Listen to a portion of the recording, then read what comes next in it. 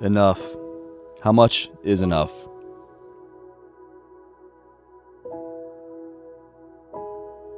During the current state of affairs, most of us have more than enough time to think.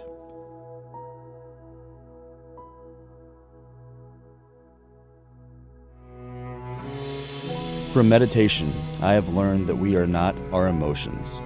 We are merely in a state of experiencing our emotions.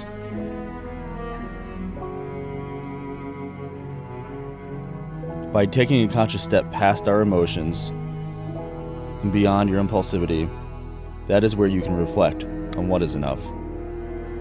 During a meditative state, your breath is enough.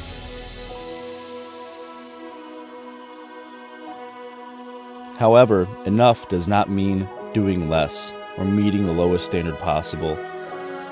I'm going to paraphrase Greg McKeown. The essentialist is able to discern the vital few from the trivial many. I have learned that focusing on enough is about recognizing what is essential and working on being the best at those few things. That is enough.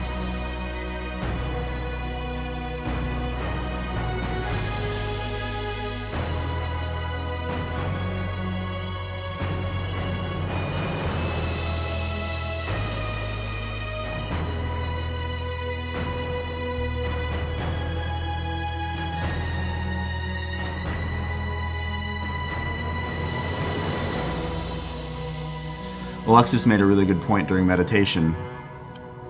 Do you remember what the point was? When one person has a good meditation, everybody has a good meditation. Yeah. You can't have, when you're doing it as a group, the whole group has to have a good meditation. Right? Yeah. Sorry, my hair is messy.